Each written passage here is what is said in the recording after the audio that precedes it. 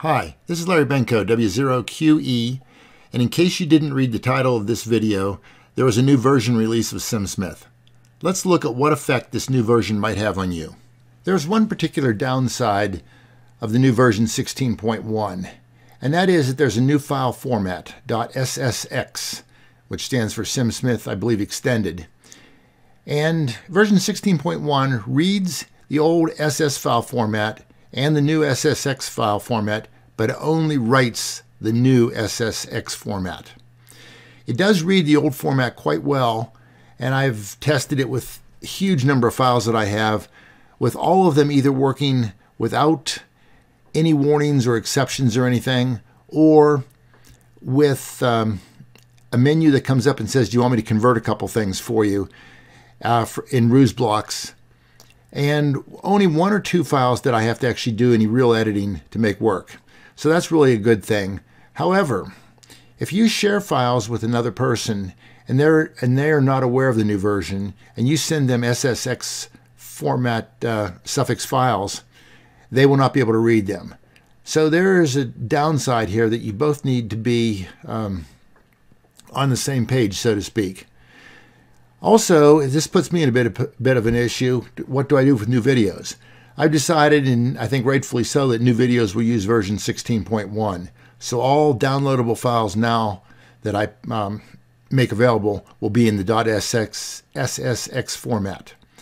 And I think this is a little bit painful maybe initially, but it will encourage people to, um, to upgrade. Remember, SimSmith is a free program, and the cost of up upgrade is absolutely zero, so there's no reason not to do it. I've been uh, beta testing version 16 for a couple months now, and there, in some ways, it's actually better than any of the previous versions because it's probably been more tested. And th a few things have been found that existed in older versions, so um, it's good in that respect. It's just the downside if you share stuff, and that's to me the um, the biggest issue. So instead of running off right now and upgrading it, think about that for a moment before you do it. Um, there are ways around this, of course, but just be careful. And we're going to assume right now the new features outweigh the downside. The downside really isn't that big. Can we use multiple versions of SimSmith together? And the answer to that is obviously we can. However, you have to install them a little bit uh, carefully. I mean, I can I can right now bring up uh, version. There, there's the new version 16.1z. And there's 15.1i. And they're and they're both and they're both running running at the same time. So obviously you can run them both at the same time without a problem. Uh, there's a little bit of an issue with the file associations. If you double click on the file, if you have two versions um, both both installed, we'll talk about that in a minute. So how to install? Well, you go to the. I shouldn't have uh, deleted this file here. You go to the help menu and, and, and you say visit the website. Unfortunately, it popped up on a different screen. Okay, so here's the website. And it's the same website as it always has been. You scroll down here, and version 16.1 is available right here. And Ward has already done a video on his YouTube channel about the new version. This video, and he's aware I'm doing it, is just a slightly different point of view. Um, I intend to stress a few different points that uh, he didn't, and I'm sure he, um, you know, it, it, it's nice to see two two opinions on stuff a lot of times. So, nevertheless, uh, we can go right here, and here are the possible things to download. The PDFs you get automatically when you download the executable files, but we have a, we have a, we have a um, a file we can download for for the Mac. We have one we can download for Linux or Unix, and we have two for Windows, one for a 32-bit version of Windows and one for the 64-bit version of Windows. And then we also have the naked jar file. And the naked jar file can run just fine, uh, provided that you have the Java runtime environment already installed on your machine. This is how I typically use SimSmith, and it's because I get a lot of updates, and the updates are available a lot of times just in the jar format uh, in the past. So they, they all work um, just fine. If you download the new and the only the only experience I have with uh, updating any of these right now is in Windows.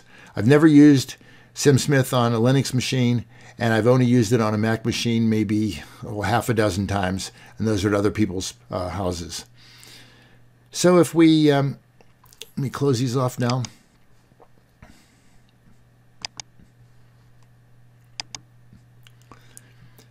So we we we kind of get to the point where we have to decide whether we want to use single or multiple instances of the file of, of SimSmith. If you run SimSmith in a mode where you have enough monitor space, such as multiple monitors, having more instances of SimSmith run at the same time can be very interesting a lot of times and very useful.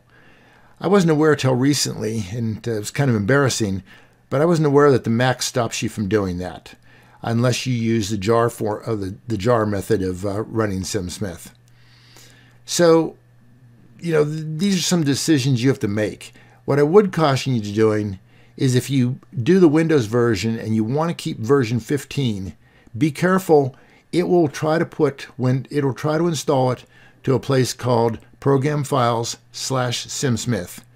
So if you want to have both versions in six, 15 and 16 up at the same time, and 15 is already installed in that location, uh, just change the name where it installs it. Say, make, put it in program files, SimSmith uh, v16, and you'll be able to run them both. However, as you install version 16, you will be asked the question, do you want to associate both SS and SSX files with version 16 or not? Well, clearly version 16 should have SSX files um, associated with it, but there you can decide on whether 15 or 16 is to, is to associate the, the suffix type. Now, none of this matters, of course, if you load the program first and then you do file load and you can load anything. But if you double click on the file itself to bring up the program, then the associations matter. And if you decide to, run both of them for a little while because you're doing something with someone else, uh, then later on you can reload 16 again and this time say associate both or you can go into Windows and just change the association. Uh, that all that works, and none of this is a big deal. Now let's get down to something that Ward stressed in his video, and that was the fact that some of the videos I had done, the mouse scroll wheel stuff will be incorrect, and he's absolutely he's absolutely correct about that. The um, over time, one of the biggest issues he and I have had is the way we view which way the, the mouse wheel should work. And if you currently use SimSmith and do not use a scroll wheel, you're missing out. Um, I would suggest that uh, you really go get one. Uh, they're they're pretty cheap. You know, twenty dollars you can get a mouse with a scroll wheel on it, and that will really make SimSmith work nicely. Um, unfortunately, you have to take a little bit of time to set things up, and we'll and we'll get into that in a minute here. And as is usual with SimSmith, all his preferences are saved in the file for the current version you're using, which will have a name like this, last SimSmith circuit, and then the version number, .ssx now in this case.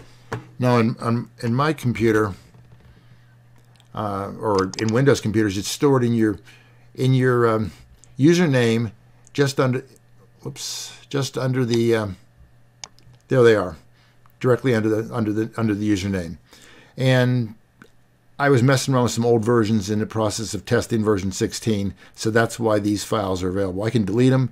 You can delete them anytime you want. If you delete them when you bring up SimSmith, it'll tell you it couldn't find this last this last SimSmith circuit file, and it, it will create a new one for you. However, if it creates a new one for you, it will be created with its preferences, and they may not be be to your liking. So let's look let's look and see what that means. All right, here we are with the new version of SimSmith. 16.1z is the re released version. And I have a file here that has just a capacitor in it, that's all. And we can go, like we always do, File Preferences. And these have changed. Not, not all of them, some of them have changed. But what I want to concentrate on is, is these three lines right here. They're similar, but yet different to what we used to see. Now, the first line up here says wheel gain, and it says P, S, H, V, and R. P stands for parameters, S stands for Smith chart, H stands for horizontal scale on the on the square chart, V stands for vertical square on the vertical scale on the square chart, and R stands for ruse block. And these are zoom factors within those um, for those particular items. Then we come down here to something that was we had before. It used to be ordered differently. It used to be ordered shift, none, control, and shift and control. Now it's none, shift, control, shift and control. And these are factors that apply to this zoom to this zoom factor. So what that means is now the negative sign means I do it differently than Ward does it. He has a negative factor when he does it differently than I do it or whatever. Um, but this can be plus or minus, and this controls the direction that your wheel moves to do a certain action. If I do nothing when I am on top of a parameter, and I'll show you this in a minute, I will get a 0.1 times 1. So I'll get a 10% change. If I hold the shift key down when I'm on a parameter and I move, the, and move one notch on the scroll wheel, I will get a 0.1 times 0.1 times 0.1 or 0.01 or 1% change of that factor, etc., etc. So let's look at that for a moment. And these are the factors I have. These are not the factors it comes with. Do not think my factors are better than anything else. What I'd like you to do is draw your own conclusions. So let's look at the first one, the parameters. If I'm, if, in a, if I'm in a parameter box here and I take the scroll wheel and I move it, say I push it away from me, would you expect that to make the value here larger or smaller? In my case, I like it to be larger. I, so since, since that's backwards to how it was coded, I have to put a negative number in there. And so you, before you do this, you should just mentally think, think to yourself, I'm going to move it now. Which way do I want it to be? And, and most people will, will have one way or another that they like to do it. The ability to make SimSmith really sing so to say, um, you know, and be very fluid to use, is to have the mouse um, go the right direction 99% of the time when you do it, when you do things. So I have my way of doing it. Ward does it differently. A third user does it probably differently than both of us. But this one right here is the parameters, and it's any parameter. They all they all work the same way. They will all go up when I move the mouse. I move the mouse wheel away from me, they all go up in magnitude. And that's the first one. The second one is a Smith chart. I hope that everybody knows this Smith chart can be can be moved. By the way, if we go over here for a moment, preferences, the 0.9 is the minimum chart scale. So when we zoom in on a Smith chart and we zoom back out, 0.9 is the minimum. If I make a 0.1, the Smith chart goes all the way right to the edges a little bit more and get and kind of impinges on this a little bit. So 0.9 is where I leave it. If I wish to zoom in on the Smith chart and say I want to look at this point right here, I hold, put my mouse right there, assuming I'm, assuming I'm in this window, and I put my mouse right here and I start to zoom in. And it, and it keeps this point as this at the center, doesn't, doesn't change that point. How much should I move, number one, and which way should I go? So in this case, I want to make the Smith chart bigger when I move the mouse wheel away from me. So I push the mouse wheel one notch, it makes the it makes the Smith chart bigger. By how much? It makes the Smith chart bigger by 30%. Now, maybe you want yours to be 10%. If you want yours to get smaller when you move the mouse wheel away, make this minus 0.1, say. And again, do this, spend 10 minutes with this, and you, you'll be happier with, with the use of SimSmith. Likewise, for the vertical chart, what do we want to have happen when we're down here in the horizontal scale and I move the and I move the mouse? What do we want to have happen in the vertical scale? So go over to the vertical scale here and this is the pivot pivot point because it's got the line below it. If I move the mouse wheel forward, do I want this this range to get larger or smaller? I, in my case, I want it to get larger. I, I click on it. It's a larger range. It made the waveform smaller. Some people view it perhaps in the way they want the waveform to get bigger um, or, the, or, the, or the plot to get bigger. All these things are your preferences. That's why it's preferences. The, the final one, of course, is in the ruse block. And in the ruse block, it's the same, the same scheme. We now have zooming in there, uh, which is really nice. And again, it zooms about the point. So if I, if I zoom over here, I'm going to start moving this stuff over to the side. So I zoom here, look how it moves it off the side. If I zoom it over here, it'll move it the other direction. But how much larger does it get each time I zoom. In my case, I made it be 10% larger, 0.1. These things are things that you should set set you know the program up to the way you want to use it and be and and you'll be much happier in the long run. Um, there's a lot of other parameters to set here. One of the big ones is the drag tune depth. Some people don't like drag tune depth to be more than one because it can get you in trouble sometimes. Never set it to three. Three is just a recipe for disaster. One or two or zero if you don't want anything to drag. Um, what else is a, a, big one to change? Um, it's hard. It's hard to say. I mean, there's um, most of them are pretty pretty self-explanatory. Do you like a gray background? How how bright do you want the the chart and the uh, the legend and, and the lines to be on the chart? You know, play with these things. You, you can't hurt anything by by playing with them. Your initial capacitor Q, your initial inductor Q, those kinds of things. Um, had a guy the other day tell me, why would I ever want to zoom in on a Smith chart? This is a capacitor with Q2000. Let me let me go right here and I'm going to zoom in on it. Notice how we're not on the line anymore. That is the resistive loss in that capacitor. If I make this capacitor be a Q of 1 million, look what happens. So there, there are times when you want to zoom in just to see things. And if I have to move the mouse wheel, roll it 30 times to get there versus roll it twice to get there or 10 times, those are things that are, are your, your preferences. All right, well, I guess I beat the preferences up to death. So let's now look at some of the new features that we see in SimSmith. And probably the most obvious thing you see when you first bring it up is this little arrow. And Ward mentioned this in his video too. And it's this just makes makes the block small, makes the block large. At one point in time, there was a discussion about trying to take the Smith chart and move it to another window. And I resisted that vehemently because I like to run multiple versions of SimSmith. And if I had detached windows of the Smith chart, I would think that would be incredibly hard to keep track of. However, a lot of people put a schematic here that's that's pretty large. If I start making my schematic larger and larger, you have two choices after a little while. One is live with a Smith chart that gets smaller and smaller, or you make the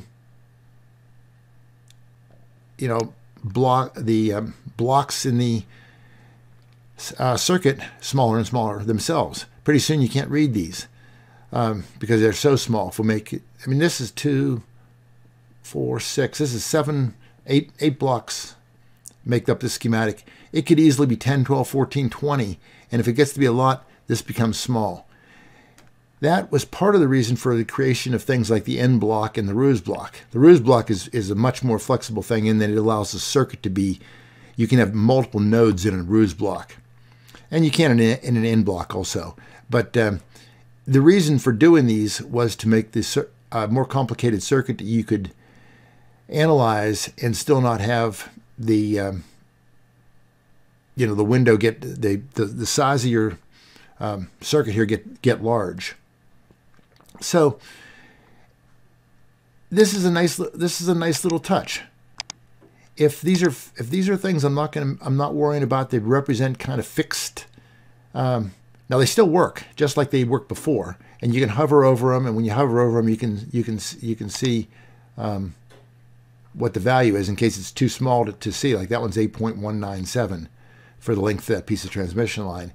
But they still work. They're just kind of hidden and you can leave then you can make the ones that you want to use and, and play with a little bit larger and you still are such that the Smith chart or the or for that matter the square chart can be large which which is really nice. So that's probably the the first thing that anybody would see.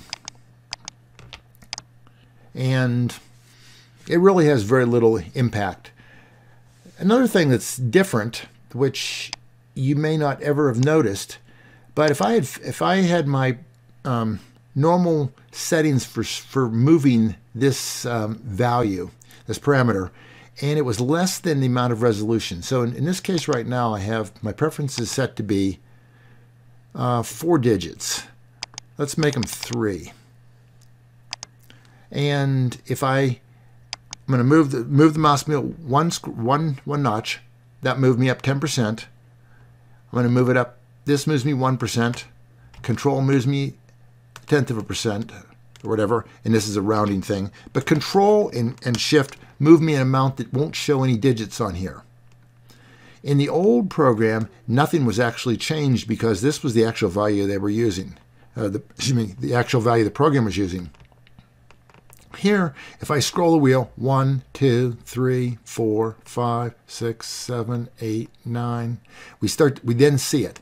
We're only displaying this, but internally in SimSmith, there's a lot more accuracy being done.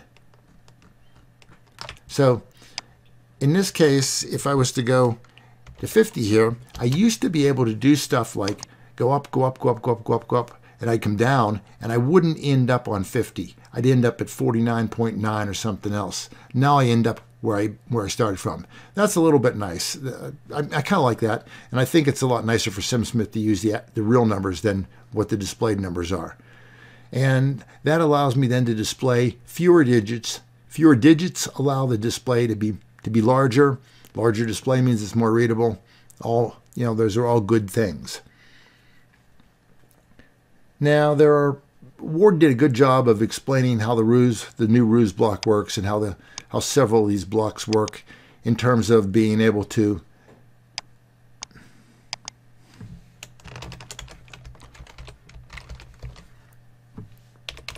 I can put something in here, and I, if I make it larger, it's larger. Now when I close this off and I go back to it again, it's still large.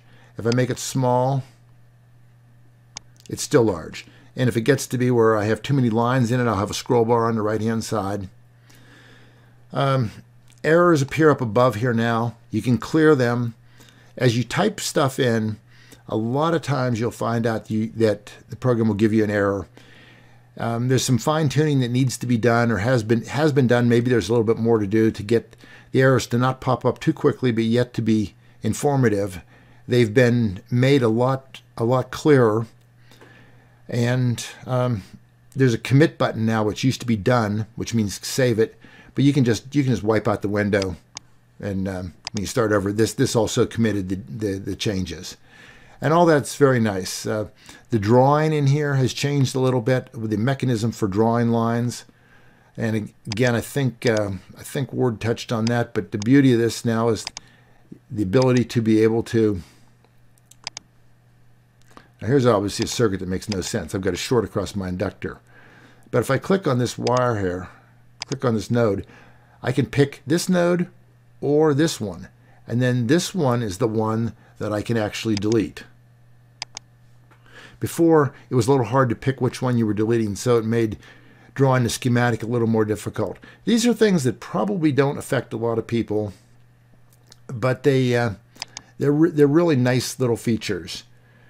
Um, there's been a huge improvement in the, in the speed of which you can sweep, uh, particularly for items in ruse blocks. And they're such now that on my machine, which is not exactly a super fast machine, setting this to be 100,000 and setting this to be 4K or, or, 5, or 8K or 6K, something like that, is not unreasonable. I hope everyone appreciates why we have the two values, and that is because if you sweep a couple things, let me um,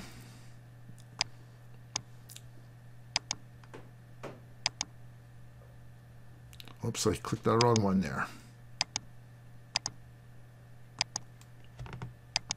I'll make these as sweep parameters.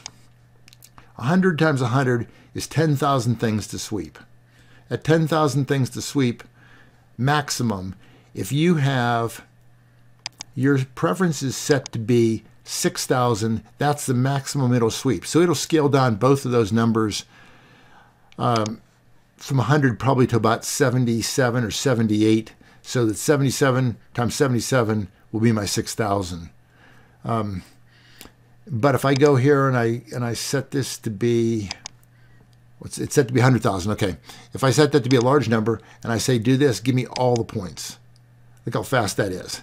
I mean, it's it's been speeded up a ton. And hopefully um, that will encourage people to do more complicated circuits, which used to be a little bit slow at, uh, at simulating. Now, I don't know if this represents um, all the changes. It doesn't even come close. But there's one new block, and that's the daemon, the daemon block. The daemon blocks can sit now left of the load. There's never been a block before that we could sit, that we could put before the load. And this block can have things in it that control values out here. I think I did a video where I had gang capacitors and I had a, and I'm, not going to do all the work necessary to this, but I had like an N block or something here. And then I wanted to change the load here and I wanted to change something out here. And if you change if you change a value here and it goes to the left, you used to be allowed to do that. That would mean SimSmith, SimSmith when it executed would execute this this piece first with the old value, then it would change the value when it got to here, then it would change the values over here, and it would execute these pieces, and you would end up with something wrong. So what I would end up having to do would be make a new block that I called a load block, ignore this one, and then this would was to the left of the quote load block, and then I could put my circuit or whatever I wanted to in here. Well, the daemon block now alleviates that completely. I just you just put it put it right here.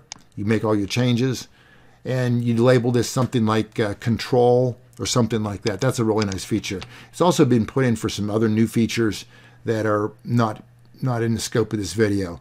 This is already way too long. Hope people get an appreciation for some of the stuff that's changed. Have any questions? Let me know in the comments below the video. Um, if you have a problem importing any of the files, please uh, please bring that up because I, I haven't seen any and I think things are pretty good. Thank you again. If you like the video, click like, please, and subscribe. Or if you know people who like this these type of topics, uh, please uh, you know, point the channel to them. Thank you very much.